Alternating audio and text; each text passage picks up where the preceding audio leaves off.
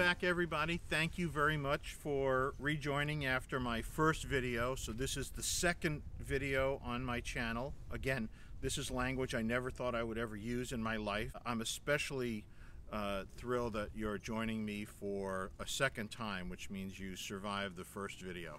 I'm going to let a couple of my colleagues introduce themselves to you. They're going to talk a little bit about the fundraising that we're doing to support the cause for of um, helping uh, children and adolescents with the current mental health crisis around the country, and in particular in the place that I work, which is Rhode Island. So they're going to talk about some pretty serious stuff, but hopefully you'll see a, a, a hopeful and an optimistic tone in their voices. Hello, my name is Elizabeth Lowenhaupt. I am a pediatrician, psychiatrist, and child psychiatrist living and practicing right here in Providence, Rhode Island. I'm uh, Jeffrey Hunt. I'm a also a child psychiatrist and am the program director for the Child Psychiatry Fellowship um, at Brown and also a practicing psychiatrist on inpatient units. Prior to the pandemic, there were not enough resources here in Rhode Island for children and families seeking behavioral health care. Since the pandemic, that situation has become even more dire. Children, adolescents, and families are finding themselves in crisis situations. Children may have lost caregivers. Families may be disrupted due to changes in school routines. And we are seeing a huge increase in the presentation to emergency services for, for suicide attempts, um, for aggressive and out of control behaviors, and for other crisis type situations. Uh, this uh, problem with uh, the post pandemic surge in child behavioral health is national. The Surgeon General and the American Academy of Child and Adolescent Psychiatry, the American Academy of Pediatrics declared a um, um, national emergency this past year. The rates of suicide were climbing in all age groups, including in children, and there's even greater numbers of younger children who have been attempting suicide. And part of the challenge is access to care. That the parents of these children um, are recognizing problems, they're reaching out for help, and they're being told there's long wait lists.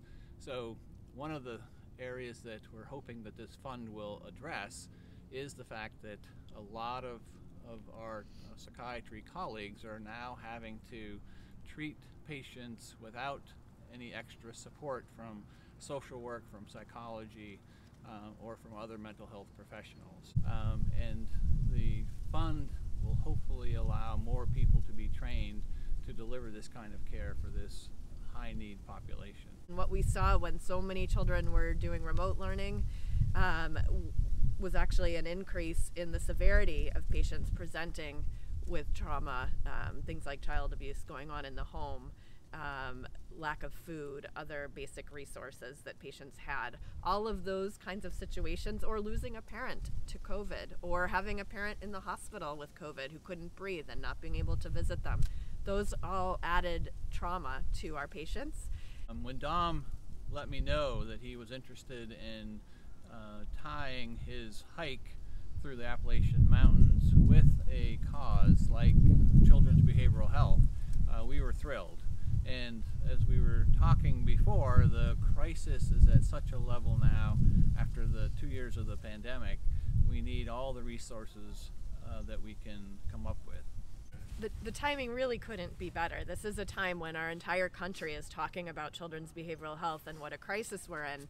And what we really need are, are people like Dom who will take this on as an initiative and people like you who will consider contributing to it. Yeah, we have a map of United States that shows where our graduates have ended up. And uh, there's only a few states where we have no representation. And a lot of the areas are quite underserved, including states like New Mexico and Montana and parts of the uh, parts of the South as well. We want to thank you all so much for paying attention to this crucial issue. We are so grateful to Dom in particular for highlighting this area of work and this critical area of need. And we wish him all the best as he goes on his hike.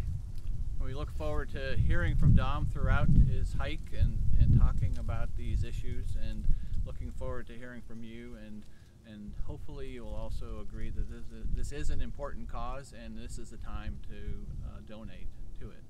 Thanks a lot. Thank you for listening. That'll do it for this uh, video. I hope you'll subscribe and uh, follow me along. I've made two videos. I haven't even set foot on the trail yet, but uh, but it's getting close. And uh, I'll remind you that the link for donation is at the bottom, along with a link to uh, the Mighty Blue podcast, where I've done a couple of interviews with Steve Adams, and uh, we have a lot of fun with that as well. So please follow along, and thank you so much for uh, for your time and your attention to this cause. See you later.